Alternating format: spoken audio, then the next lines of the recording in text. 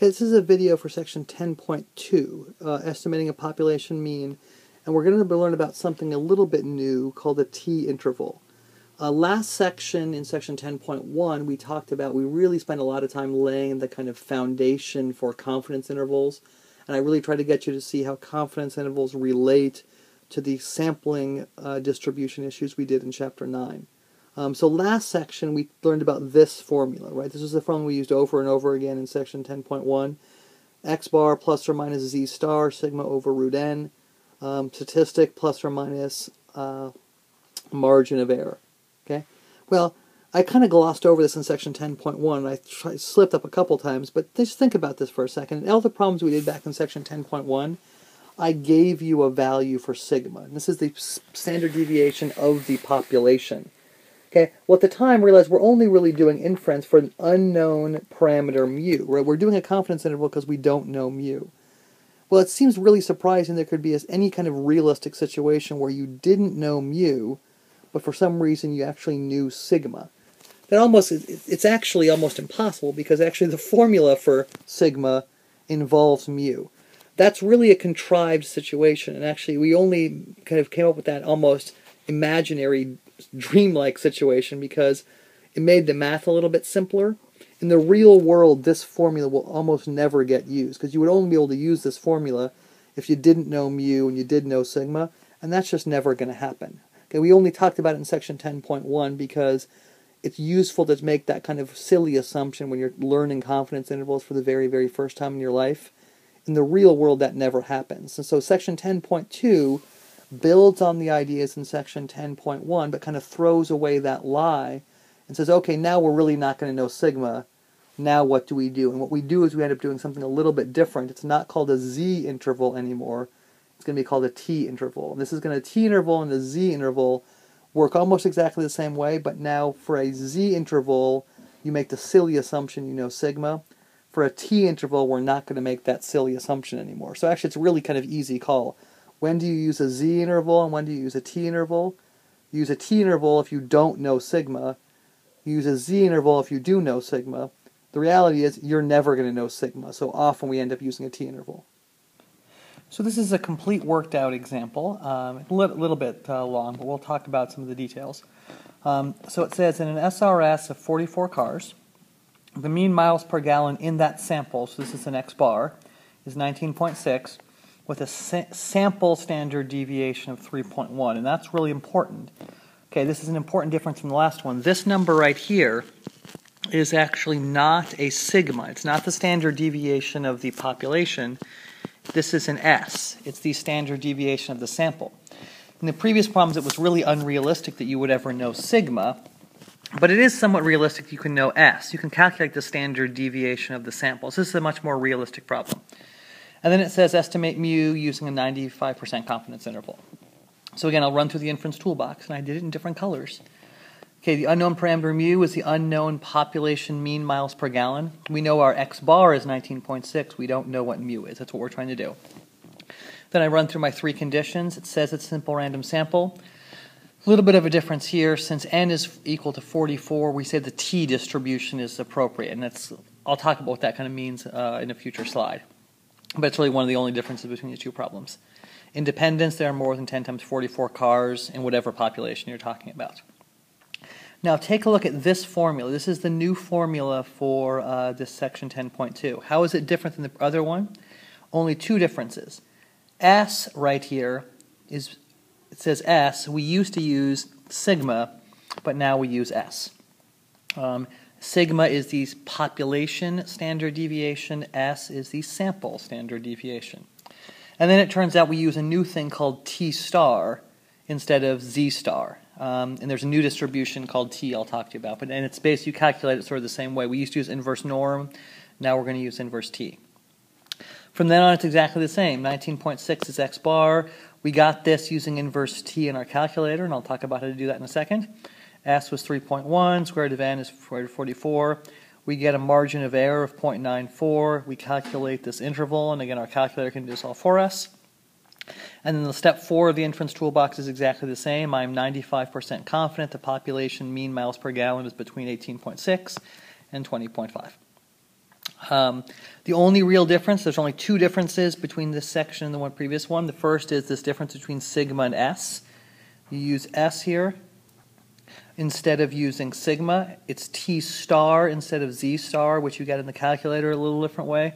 And then this check right in here, the middle check on your conditions, we don't use the word normal anymore because we, we just say the t distribution is appropriate. And we'll talk about those just distinctions later on. Okay, this is a complete worked out example. Notice how, notice how similar it is to the ones in the previous section. So here I want to talk to you a little bit about this new thing called the t distribution. And it's a slightly different distribution than the normal distribution. I tried to draw you a little picture here, not that I'm a great artist, but if this is a normal distribution, the kind of gray one, a t distribution still looks very similar. It's still unimodal, it's still symmetric, the only difference is it's a little bit fatter on the tails, or you might say it's a little bit flatter. It has a smaller peak in the middle. And it turns out that the t distribution is a better distribution to use when you're using S instead of sigma for a sampling distribution. So again, the rule is really simple. It's just if you know S, you use the t distribution. If you know sigma, for some inexplicable reason, you use the normal distribution. Or again, sometimes we call the normal distribution the z distribution because we're talking about z-scores. Um, so if I ask you to draw a t distribution, kind of looks normal-ish, except it's just a little bit fatter on the tails. The one weird thing about a t distribution is there's not just one different t distribution. There actually are many, many, many different t curves. And they all relate to something called degrees of freedom. Each of the different t curves has a different degrees of freedom. Now, degrees of freedom is going to be a huge topic if you ever like take a graduate course in statistics in college. But for right now, just think about degrees of freedom. There's a formula for it, which is just one less than the sample size.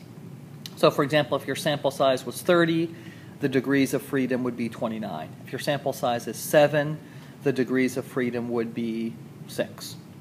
Just one less. Here I've tried to draw many, many, many different, these are all T curves with different degrees of freedom. And basically what you have to know is that for a small degrees of freedom, it's much flatter.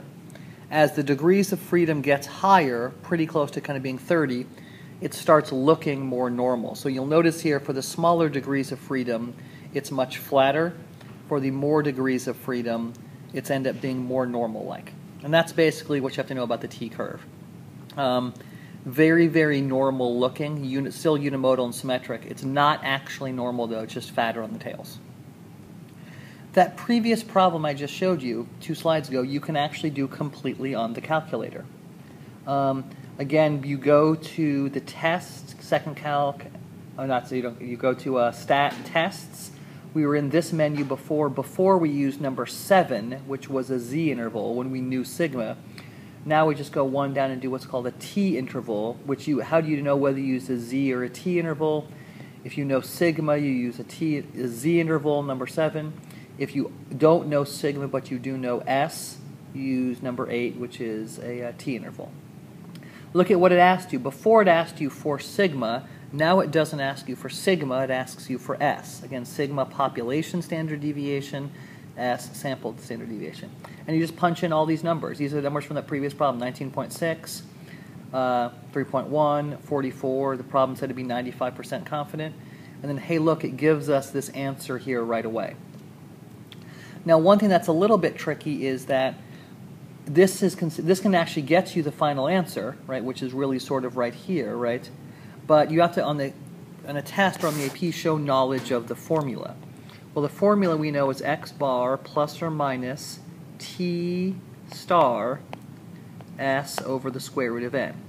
A lot of these things we just know so we can plug in, right? x bar is 19.6. t star I'm going to come back to. S is 3.1 and then n in this problem is the square root of 44. The thing we want to talk about is what goes here. How do we possibly figure out what the t star value is? And the answer is your calculator can actually figure this out. right below inverse norm on your calculator is something called inverse t. Now, when you type in just inverse norm, it only took one number, which was the percentile, the area from the left. Inverse t actually takes two numbers, Okay, what, the first is the percentile to the left, just like inverse norm. The second number, though, has to be the degrees of freedom, because remember, there's many, many, many different t curves. And if you just said inverse t for 0.975, it wouldn't know which t curve you're talking about. So you have to give it the degrees of freedom, which again, degrees of freedom is just 44, which is the sample size, minus 1. That's where the 43 came from. And then it cranks it all out for you. So if you were to show knowledge of the formula, you would say 19.6. Then you would do this inverse t calculation and get 2.01669 times 3.1 over the square root of 44. Now, again, you're just doing this to really show knowledge of the formula. Once you write that down on your paper, sure, you can just go back here and actually this, this calculation is exactly this. So you're kind of just doing this to pretend that you're using, doing it the long way and really letting your calculator crank out all the heavy lifting. And just the last thing I wanted to talk about is a little bit of vocabulary.